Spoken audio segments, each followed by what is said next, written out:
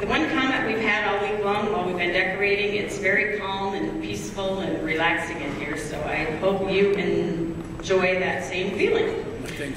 Um, as you know, we have a record sellout crowd tonight, but actually it seems like